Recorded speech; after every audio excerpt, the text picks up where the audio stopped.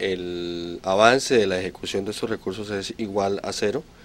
Quiere decir que en Barranca no se han ejecutado los recursos que por Colombia Humanitaria se destinaron para las obras aprobadas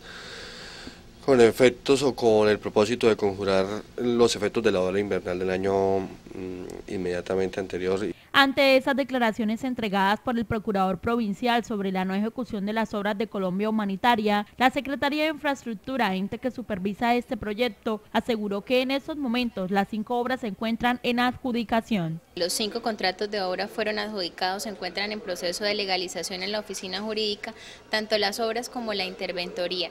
Eh, para nadie es un secreto que a través de todos los informes que se han emitido y las reuniones que se han hecho en el departamento de Santander,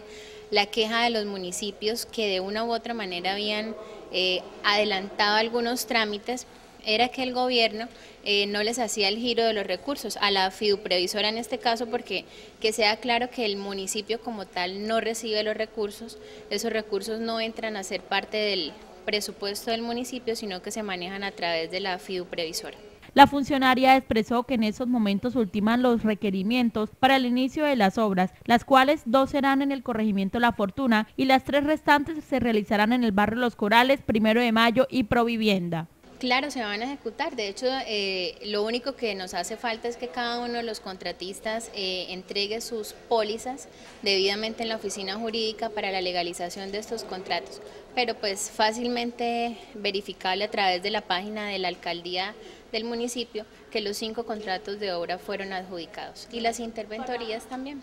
Se espera que la próxima semana estas cinco obras de Colombia Humanitaria inicien para así mitigar los impactos de la temporada invernal.